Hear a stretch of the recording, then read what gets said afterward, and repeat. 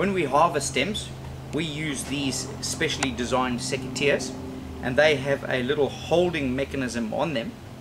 When we cut our roses, we're trying to keep the cutting level of the crop very low to limit the number of stems that it produces, but ultimately to increase the quality of the crop.